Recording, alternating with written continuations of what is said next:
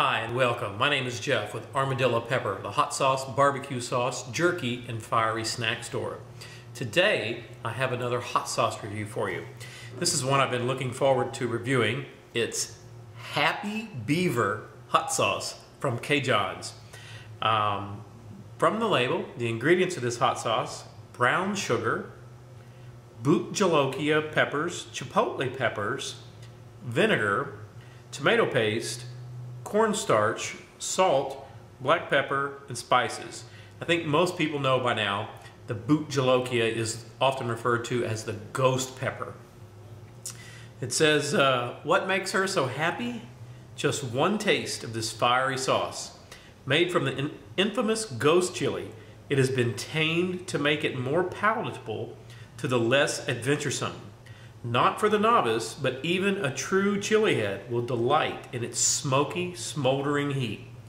Give her a try. Come on, get happy. Happy Beaver. All right.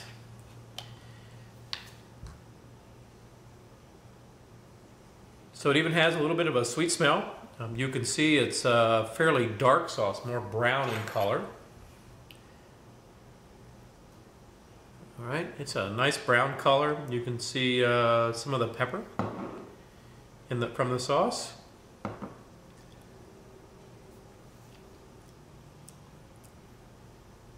Okay, immediately I taste the sweetness from the brown sugar.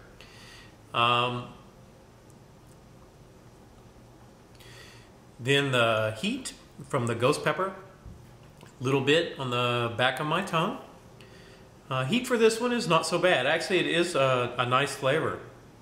The, the sweetness from the brown sugar goes quite nice with these uh, ghost peppers. A scale of, say, uh, 1 to 10, I would put this one um, for a, a non-chili head around a 5. Uh, for a chili head, this one's probably uh, around a 3. The, the brown sugar, as I said earlier, along with this ghost pepper, it's a really nice combination uh, for a, a, hot and sweet.